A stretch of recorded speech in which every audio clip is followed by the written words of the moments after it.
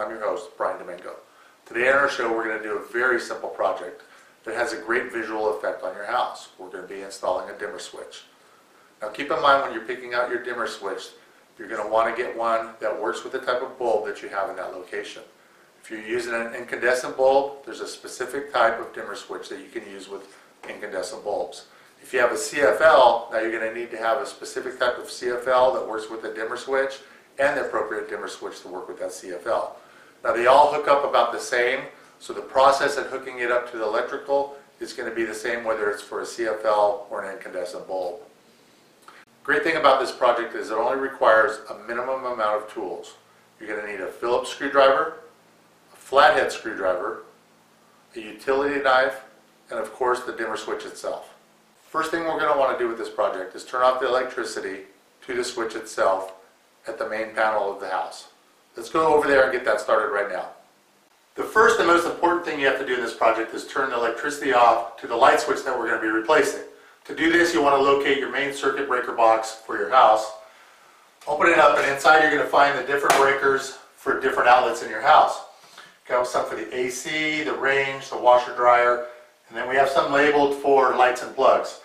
Now the best way to find the one that works for that light switch that we're going to be replacing is to turn that light switch on, come in here and switch off the circuit breaker, and then go back out and, and check and see if that light's off.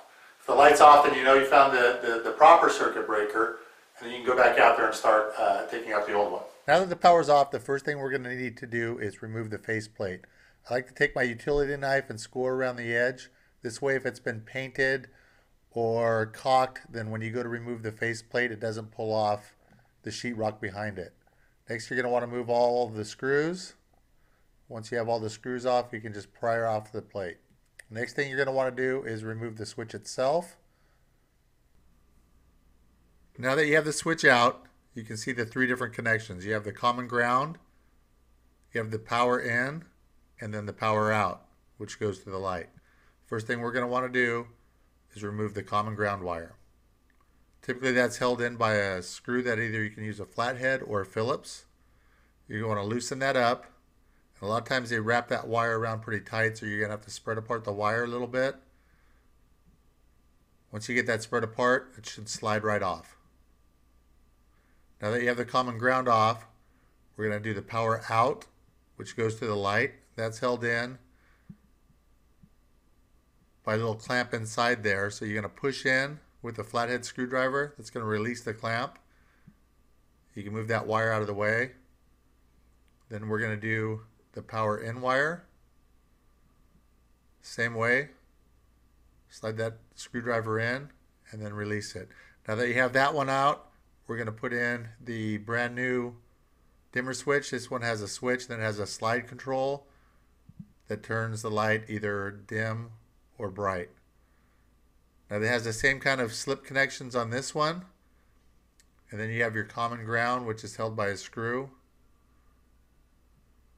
First thing we're going to do is reconnect the common ground. So you're going to want to loop that around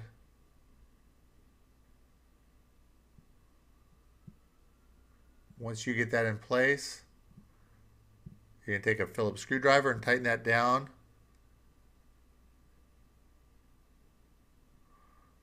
Once that's tight, we're going to want to put in the power in and then the power out.